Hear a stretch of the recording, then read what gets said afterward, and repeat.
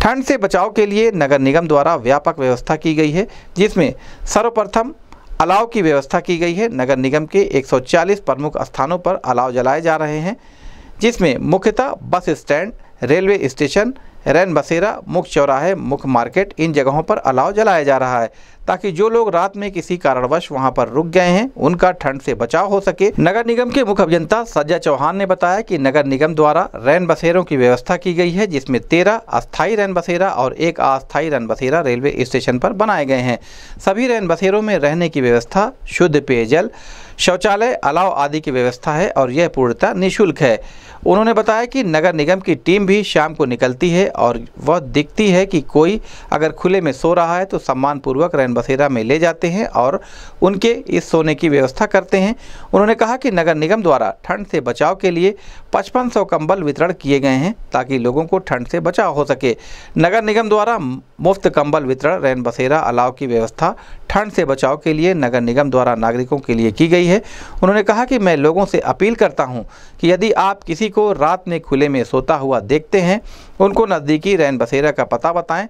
नगर निगम द्वारा जो सुविधाएँ हैं, उन्हें उपलब्ध कराई जाएँगी। इस संबंध में गोरखपुर न्यूज़ से बात करते हुए नगर निगम के मुख्य अभियंता संजय चौहान ने कहा।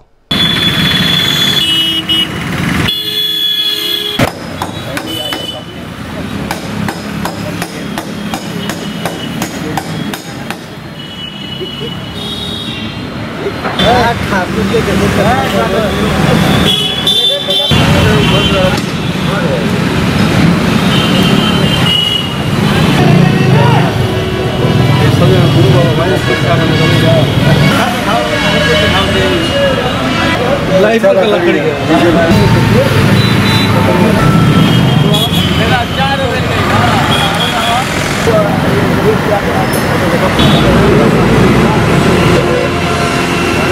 विनय सिंह। समस्याएँ हो रही है शहर में अलाव की कमी है और जो अलाव जलाए गए हैं, वो कच्ची लकड़ियों के अलाव जलाए गए हैं, जो सही से काम हो नहीं पा रहा है। प्रताप सिंह। यहाँ जो है रंग बसेरे में पंद्रह लोगों का कना जगह है, जिसमें पाँच महिला, दस पुरुष, रजाई गद्दा तकिया, प्लस नहाने के लिए गीजर महिला में भी और पुरुष में भी। और उसके बाद बाहर आग तापने के लिए अलाव ये व्यवस्था किसके द्वारा की जाती नगर निगम द्वारा। ठंड से बचाव के लिए नगर निगम द्वारा व्यापक इंतज़ाम किए गए हैं। उसमें सर्वप्रथम अलाव की व्यवस्था की गई है।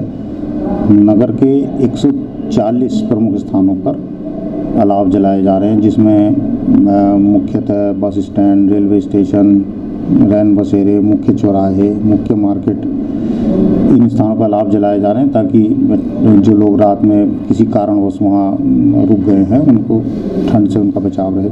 दूसरी व्यवस्था नगर निगम द्वारा रैन बसेरों की गई है, जिसमें तेरह स्थायी रैन बसेरे और एक अस्थायी रैन बसेरा रेलवे स्टेशन के सामने बनाया गया है। उस उन सभी रैन बसेरों में बिस्तर शुद्ध पेयजल, शौचालय, अलाव आदि की व्यवस्था है और ये पूर्णतः निःशुल्क हैं। हम लोग की टीम भी रात में निकलती है वो देखती है कि कोई अगर खुले में सो रहा है तो हम उनको ससम्मान अ, अपने रैन बसेरे में ले जाते हैं और उनके सोने की व्यवस्था करते हैं। उसके अलावा नगर निगम द्वारा पचपन सौ कम्बल का वितरण भी किया गया है। पचपन सौ कंबल क्रय करके वितरण किया गया है ताकि ठंड से बचाव हो सके।